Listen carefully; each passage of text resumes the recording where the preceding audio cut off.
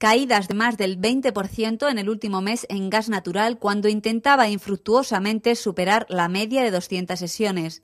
El abandono del soporte de los 12,30 euros a finales del mes de marzo destapó la caja de los truenos y supuso el desplome de su cotización. El abandono del importante soporte que presenta en los 10,86 euros no hace sino agravar sus malas perspectivas técnicas en el corto plazo.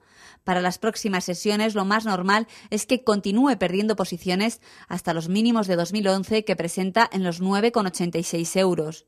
El acercamiento a estos niveles de soporte junto con los altos niveles de sobreventa nos hacen pensar en la vuelta de las compras en cualquier momento.